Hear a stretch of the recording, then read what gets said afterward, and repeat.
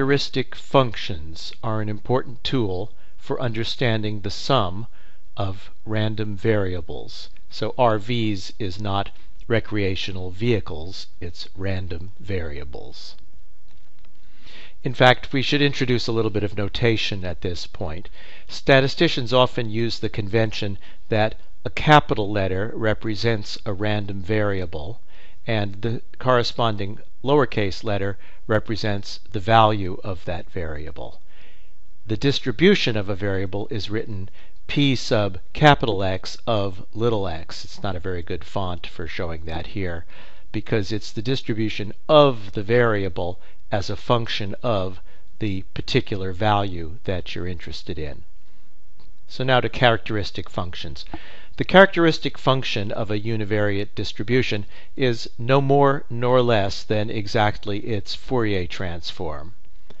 If you recall, you can take any function of x, but now we're going to use p sub x of x, and its Fourier transform is defined as the integral of it times e to the i tx, so x, the variable here, is the same as the variable here, and the transform itself is a function of this other variable here called t, which then appears on the left hand side. The characteristic function of a probability distribution for capital X is written phi sub x of t. What is the value of the characteristic function phi sub x at 0? Well, let's see. We put t equals 0 into this exponential. That means it's 1. And we just get the integral of the distribution. And that must be 1. So we've learned something that's universal to all characteristic functions. Let's try taking a derivative with respect to the variable t. So to take a derivative here, t doesn't occur in the limits, t does occur here. So the derivative with respect to t will bring down an ix into the function. But now we're going to set t equals 0, so it's going to be just an integral of ix times px of x dx. And you can see, except for this i, that's simply the first moment or mean of the random variable x. Similarly, if we take two derivatives with respect to t, we'll bring down an ix squared which is a minus, I've put it over on the left hand side, x squared, and we see that the second derivative of the characteristic function, evaluated at 0, is just the uncentered second moment of the distribution px of x. That is to say, it's the variance of x, which is the centered second moment, plus this extra piece that you would need to uncenter it. So you can keep repeating this, and you'll see that the coefficients of the Taylor series expansion of the characteristic function, that is to say, the successive derivatives evaluated at 0, are, except for some factors of i and maybe some factorials that are going to come in, equal to the uncentered moments.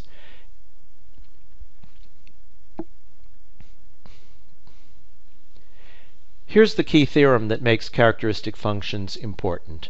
The characteristic function of the sum of independent random variables is the product of their individual characteristic functions. In other words, suppose that we have a new random variable s, which is the sum of two random variables x and y, which are assumed to be independent then what do we know about the probability distribution of the sum? That is to say, in this notation, p sub capital S of little s. Well, we can work it out using the laws of probability as follows. Suppose there's some value u, and we know the probability of x taking on that value u.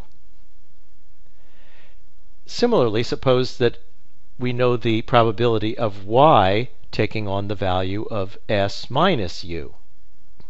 Well, then x plus y will be s as desired, and since x and y are independent probabilities by hypothesis, the, the joint probability is simply the product of those two probabilities.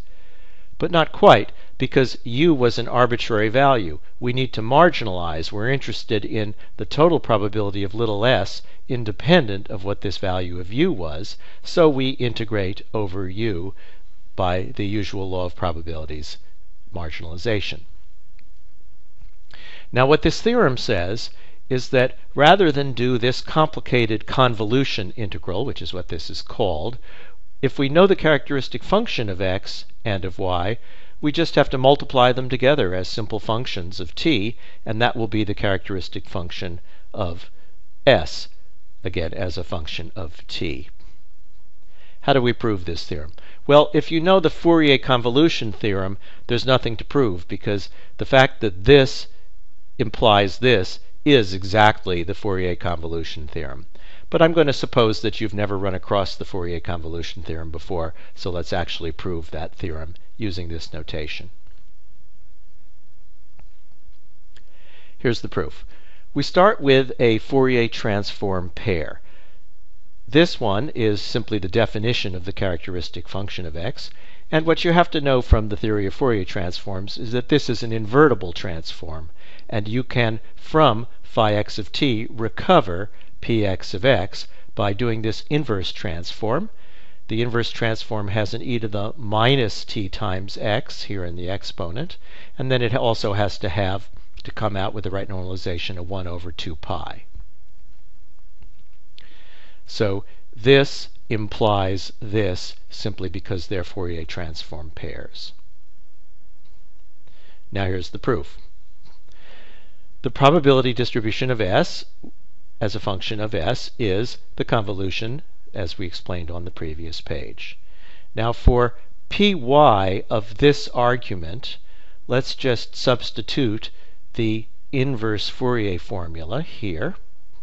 So you'll see we therefore get a phi y of t and an e to the minus it, and then we have to put the argument in right here, so that's the s minus u that goes here. Now, that standard trick, beloved of proofs like this, we simply interchange the order of integration and rearrange some of the factors. So I'm going to bring the phi y out here. Uh, it doesn't depend on u, so I can bring it out through the u integral. Anyway, you can see how um, basically I've just rearranged things, and the inner integral that I have to do over u is now this integral. But we look back up here at the definition of the inverse of the characteristic function, and we see that this is nothing more than the characteristic function of x. So we've proved that ps of s is this thing on the product of phi y and phi x. But what is this thing? This thing is just an inverse Fourier transform by itself. You can look up here to see that. So therefore that completes the proof. We've proved that the characteristic function of S is equal to the product of the two characteristic functions. Another piece that we need to discuss is how random variables scale. What do I mean by that? Let's suppose that we're given some random variable, p sub capital X of little x, and that it has the shape of this blue curve that I've rather crudely sketched here.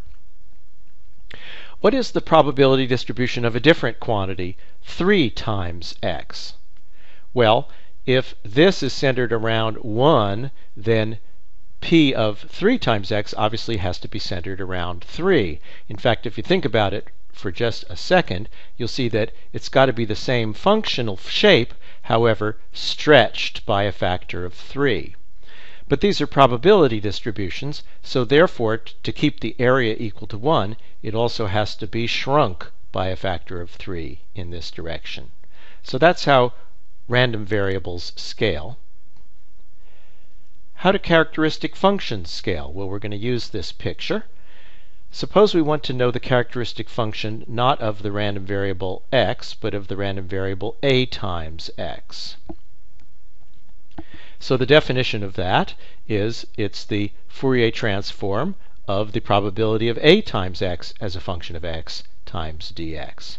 Now, this underlined piece is equal to this underlined piece. Why? Because it's basically the picture up here. Suppose a is 3. It says that we have to change the argument by a factor of 3 to scale back down to the blue curve, so we would divide whatever variable we have, whatever value of x we have by 3. And then we have to fix the normalization by also dividing by 3 here. Well, now we're almost done because if you look at this for a while, you'll see that basically there's just a new variable floating around, which is x divided by a. Because here and here are a dx divided by a. And now in the exponential, we just have to multiply and divide by a so that this becomes an x divided by a, and then we have an at here. And now this integral is the integral over this new dummy variable dx over a. I could replace that by another letter, but I didn't want to confuse you. And you'll see we basically just have a characteristic function again. But its argument is no longer t, its argument is now a times t. So we've shown that the characteristic function of ax is equal to the characteristic function of x, but with an a tacked on to the argument t of that characteristic function. A shorter way of saying that is characteristic functions let you take a constant outside here in the subscript and move it inside to the argument there. And that's their scaling law. What's the characteristic function of a Gaussian, for example, that is to say, of the normal distribution? Well, it's a Fourier transform. We can just work it out in Mathematica. So let's do that. Um, here's a piece of Mathematica that we met before, but now I'm going to formalize again. Often when we have something like a standard deviation, we have to tell Mathematica that it's going to be positive. And the way to do that once and for all is you add to this hidden variable assumptions, the logical construct, and then the assumption that you want. Here the assumption is going to be sig is greater than 0. If you don't do that, then whenever you try to take a square root of sig squared, Mathematica divides into cases as to whether that should be plus or whether that should be minus, and you get kind of a mess printed out for the answer. Okay, here we enter into Mathematica the expression for the normal distribution. I hope you all have memorized this by now. Remember the minus a half inside the exponent, and remember the 1 over the square root of 2 pi and the 1 over sigma in the normalization. Here it is written out a little bit better. Let's check that we've entered it correctly by integrating it from minus infinity to plus infinity, and Mathematica indeed tells us um, that we get 1 as we expect. Now what we really came for here is to integrate p times e to the itx from minus infinity to plus infinity. Mathematica uses the reserved symbol capital I for the square root of minus 1. No problem at all. It does the integral, and you get this expression. Let's write it out. What we see is that the characteristic function of a normal distribution is itself a kind of a normal distribution. Phi sub normal of t is e to the, let's look at this term first, minus a half sigma squared t squared. Well, if this had been minus a half t squared over sigma squared, that would essentially have been, except for a shift, the original normal distribution. So you see the characteristic function basically takes the standard deviation that was in the, uh, the denominator, or I should say the variance, the square of the standard deviation, and moves it to the numerator. Then there's also this factor, which rotates around the complex plane according to the value of mu, which is necessary to translate the variable by the value of the mean mu. Okay, that's pretty interesting. We're going to come back to that when we prove the central limit theorem. Let's do another characteristic function. What's the characteristic function of the Cauchy distribution? You'll recall that the Cauchy distribution is the example that we always like to use as a problem child because it doesn't even have a mean or a variance. But it has a perfectly good characteristic function, as we'll see. Recall that its probability distribution goes down as 1 over 1 plus, again, this square of x minus the central value divided by the width Notice I'm trying to be a little bit careful not to call this the mean and the standard deviation because they're not. Well, I tried to do this in Mathematica and then I tried to do it in MATLAB, and sadly both of them fail at computing the Fourier integral of this function. So we'll have to use old-fashioned methods, wetware methods. Do you know what wetware is? Wetware means using your brains. And if you do that, you'll have to dig out a textbook on complex variable theory and look at contour integrals or something like that. It will tell you that the Fourier transform is this function. Once again, we get an e to the i mu t. That's just a rotating term in the complex plane that indicates what the value of mu is. And now instead of a Gaussian here, instead of a normal here, we get e to the minus sigma times the absolute value of t. Notice that that's non-analytic at t equals 0. There's no derivative, for example, at t equals 0. Well, do you remember that the derivative of the characteristic function was a moment, and the second derivative was a second moment? Now we see how you can have a characteristic function but not have moments. It's because there has to be a non-analyticity at t equals 0 to prevent those moments from existing. So it all works out. By the way, if you're not willing to do this integral by wetware methods, you can also do it by social networking. My version of social networking is to send an email to my longtime co author, Saul, and say, Saul, how do I do this integral? And Saul writes back and says, if t is greater than 0, you close the contour in the upper half plane in a big semicircle, which adds nothing.